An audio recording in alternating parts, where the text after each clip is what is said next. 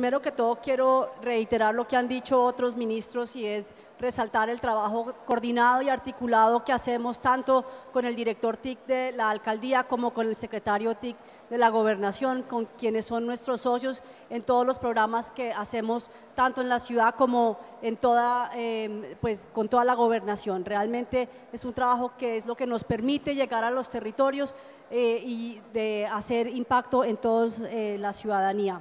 Eh, hubo unas preguntas muy específicas y que quisiera responder. La primera, em, claramente, sobre el tema de acceso a Internet y en eso tenemos muy buenas noticias. Ayer, eh, bueno, perdón, esta semana, como el presidente lo señaló, se lanzó, se inició la nueva ola de conectividad en el país. Es una ola que em, iniciamos en muy buena parte gracias al apoyo que nos dio el Congreso con la nueva ley de modernización del sector de las TIC y que va a permitir que llegue una eh, inmensa ola de conectividad el año entrante a Colombia en términos de acceso a telefonía móvil, celular, eh, de voz y datos.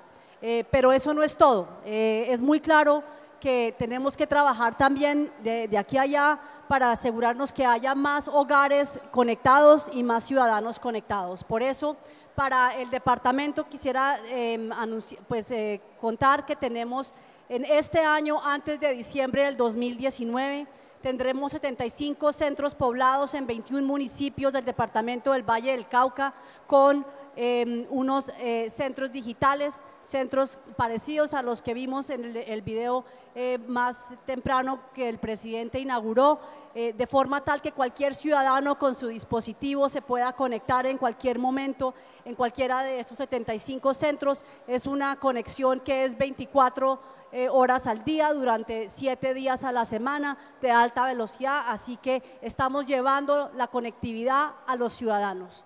Pero eso no es todo tenemos el Proyecto Nacional de Acceso Universal en las Zonas Rurales. Este es eh, en el segundo semestre del año entrante, pero es un programa muy importante porque es un programa que soluciona eh, un eh, tema que venía del pasado y es que tenemos muchas escuelas con la ministra de Educación em, que tenían conectividad y han ido perdiendo la conectividad, pues nos hemos sentado con la ministra con Planeación Nacional, con el Ministerio de Hacienda y tenemos un proyecto que nos va a llevar el año entrante a conectar más de 10 mil escuelas a nivel nacional de una manera permanente y no durante uno o dos o tres años, sino durante 10 años. Es una conectividad que permite que haya una certidumbre muy clara en todas estas escuelas y, colegios del país.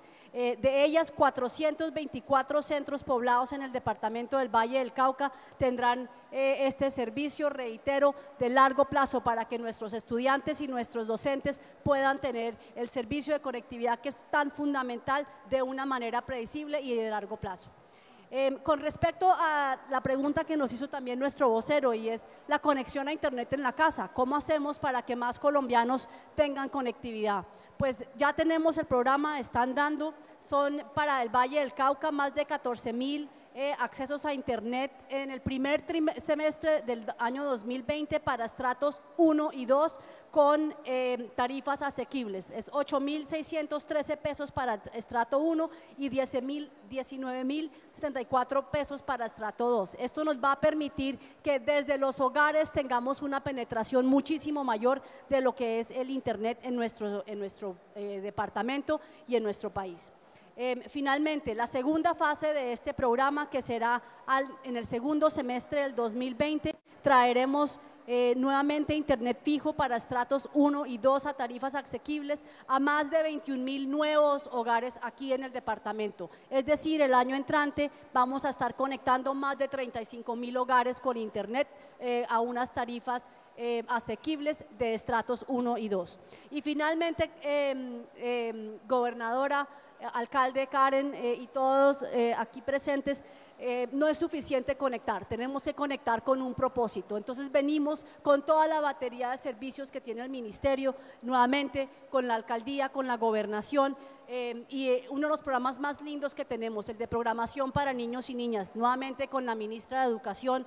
Son más de 60 docentes que serán entrenados este año, ya están en el entrenamiento, van a llegar a más de 3.600 estudiantes en colegios públicos aquí en el departamento, niños y niñas de nuestras escuelas públicas programando, aprendiendo una nueva forma, no únicamente de sí, de programar, pero de manejar problemas, plantear problemas, son habilidades que les sirven a los niños en toda la vida, independientemente de que no se conviertan en programadores. Eh, quiero resaltar los talleres de emprendimiento digital, invitar a toda la población a que se unan a ellos. Son servicios gratuitos que tenemos a través de la página en eh, más de 33 competencias en 12 ejes distintos. Son programas eh, que de verdad permiten que uno se, acceda se acerque más a Internet, sin contar los cursos que tenemos nuevamente, convocatorias abiertas sobre inteligencia artificial. Estamos hablando de cursos de Big Data donde se pueden certificar y son herramientas muy importantes para la vida eh, laboral. Y finalmente, tengo dos temas adicionales con respecto a eh, el emprendimiento y el emprendimiento en la raja en particular. Claramente quisiera contar que eh, estaremos haciendo un taller de emprendimiento digital aquí en Cali con apps.co en la segunda semestre de este año. Trabajaremos obviamente con Frank, nuestro secretario TIC, obviamente de la gobernación y con nuestro director aquí de la alcaldía para escoger el, día o la semana exacta, pero esto es un tema muy importante y invitarlos a todos, innovamos.gov.co. Esta es la página que integra todos los servicios de emprendimiento que tiene el Estado en una sola página. integra apps.co, integra todos los programas de Impulsa, integra todos los programas del Ministerio de Trabajo, del Ministerio, de todos los ministerios, así que los invitamos porque ahí están todos los servicios de eh, empuje al emprendimiento. Y ahora sí, finalmente, eh, el programa Anticonfío. El programa Anticonfío es un programa que ayuda